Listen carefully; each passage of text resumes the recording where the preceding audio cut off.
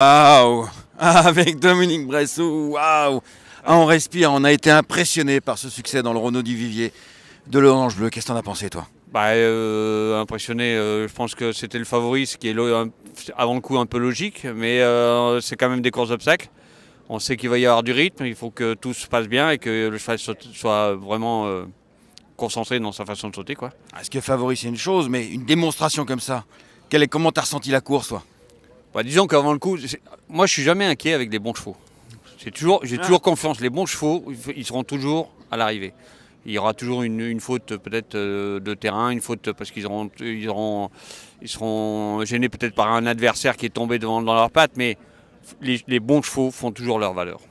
Est-ce que c'est un cheval qui est vraiment calé pour le circuit des haies ou il pourrait passer même, pourquoi pas en steeple un jour? Euh, nous rêver. L'avenir est sur le steeple. Merci Dominique. Le grand slip alors Oula, il y a de l'eau qui aura coulé sous les ponts avant le grand slip. Merci Dominique. Bravo, profite.